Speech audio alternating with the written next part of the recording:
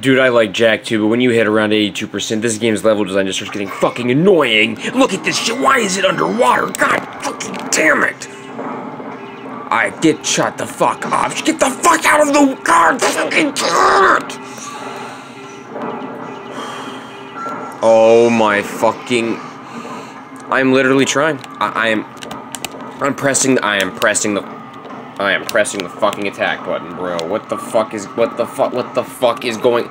No. No.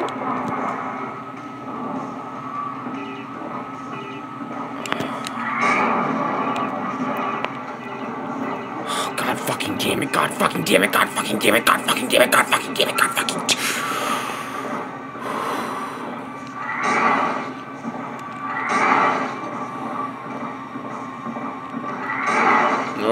Oh my fucking god. I hope there's a goddamn checkpoint, man. I feel like I'm doing a lot here.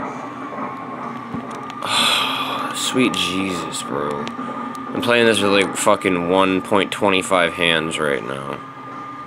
Why the fuck can't I back up in this goddamn thing? Why the fuck can't I back up? Ugh. Ugh. Oh, God damn it. That, oh, controls like dog shit and molasses, bro. Dog shit and molasses. Oh no, no, no, no. Are you fucking kidding me?